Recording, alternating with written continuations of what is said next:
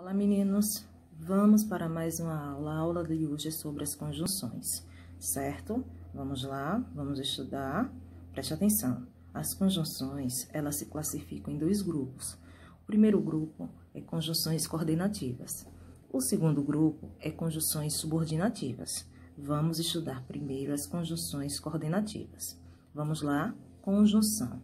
Conjunção é um termo que liga duas orações ou duas palavras de mesmo valor gramatical, estabelecendo a relação entre eles, certo? Ó, observe aí, por favor, esses exemplos. Ele joga futebol e basquete. Dois termos semelhantes. Agora, eu iria ao jogo, mas estou sem companhia. Duas orações, certo? Vamos lá. Classificação das conjunções. Como eu já tinha dito antes, as conjunções elas são classificadas em dois grupos, coordenativas e subordinativas. As conjunções coordenativas, que é o nosso primeiro momento de estudo. Vamos lá? Observe aí, por favor. Ó, é... E aí, vai fazer prova do Enem? Prova pro Enem? Não vou fazer, nem vou estudar, nem vou trabalhar.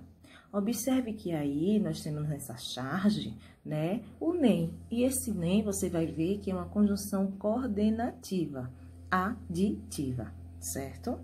Vamos lá.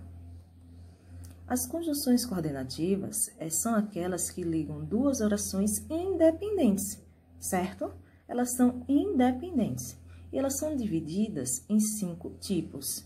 É aí que vamos aprender cada um deles, certo? Vamos lá. O primeiro é chamado de conjunções aditivas. Essas conjunções exprimem soma, adição de pensamentos, certo? As suas principais conjunções são e, nem, não só, mas também, não só, como também, entre outras, certo, pessoal? Aí tá o exemplo. Ana não fala nem ouve. Observe que aí apareceu a conjunção nem. Ana nem fala, nem ouve. Olha aí. Ana nem fala, nem ouve. Certo, pessoal? Observe que apareceu a conjunção nem. Vamos para a próxima. É, conjunção adversativa. Exprime oposição, contraste, compensação de pensamentos, mas suas principais conjunções, mas, porém, contudo, entretanto, no entanto, todavia, existem outras, mas essas aparecem mais, elas são mais corriqueiras dentro das frases, dentro das orações. Exemplo, não fomos campeões, todavia exibimos o melhor futebol. Veja aí a oposição. Como é que somos os melhores jogadores, mas mesmo assim não ganhamos a partida? É um contraste, é uma oposição. Isso dá ideia de conjunções adversativas. Certo, pessoal? Olha o próximo. O próximo diz o seguinte: conjunções alternativas. Essa é fácil. Elas exprimem escolha de pensamentos, né? Observe que vai aparecer as conjunções ou, ou, já, já, ora, ora, quer, quer, seja, seja. Ó, exemplo, você vem conosco, ou você não vai, né? Então, é quando dá essa ideia de escolha. Apareceu as conjunções dando essa opção de escolha, já sabem, são as conjunções alternativas. Certo, pessoal? Vamos agora para a quarta, conjunções conclusivas. Olha, preste atenção. As conjunções conclusivas exprimem conclusão de pensamento. Logo, né, as suas principais conjunções. Logo, por isso, né? Pois, quando vem depois do verbo. Portanto, por conseguinte.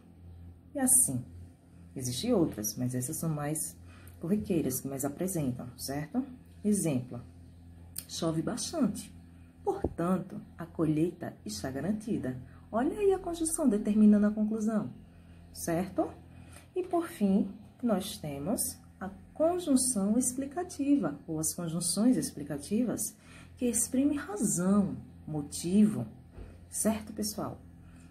As principais conjunções: que, porque, assim, o pois novamente, só que agora ele vem antes do verbo, certo? Por quanto, por conseguinte. Exemplo: não choveu porque nada está molhado. Olha aí a explicação, certo? Olha aí a razão, olha aí o motivo. Não choveu porque nada está molhado, certo? Vamos lá, ó, preste atenção. As conjunções coordenativas, ela recebem o mesmo nome dos tipos de orações coordenadas sindéticas. A saber, temos aí as conjunções aditivas, que expressam soma, as conjunções adversativas, que expressam posição, as conjunções alternativas, que expressam alternância, as conjunções conclusivas, que expressam conclusão, e as conjunções explicativas, que expressam explicação. Espero que vocês tenham gostado, viu? E aqui eu coloquei para vocês deixa eu vir mais um pouquinho aqui para trás, eu coloquei para vocês é, algumas conjunções a mais para que vocês põem na mente. Quem quiser, coloca no caderno, certo? É tranquila essa atividade. E aí nós temos, né, as aditivas, as adversativas, as, as conclusivas e as explicativas. Certo, pessoal? E aí tem mais alguns exemplos para vocês. Observe que na aditiva eu coloquei assim, gosto de chocolate, mas também de vegetais. Olha aí a conjunção mais da ideia de adição. Nas adversativas, correu muito, no entanto, não conseguiu chegar. Olha aí, no entanto, né? A próxima alternativa, não ouvia ou fingia não ouvir. Aí, ou, né? Preste atenção, né? Conclusiva, farei todos os exercícios, logo terei bom desempenho. Perceberam? É fácil, só vocês terem atenção. E para finalizar, a explicativa. Venci porque sou melhor cozinheira. Olha, venci porque sou a melhor cozinheira. Olha aí a razão, o motivo por ela ter vencido. Tá, pessoal? Espero que vocês tenham gostado e até a próxima. Tchau, tchau.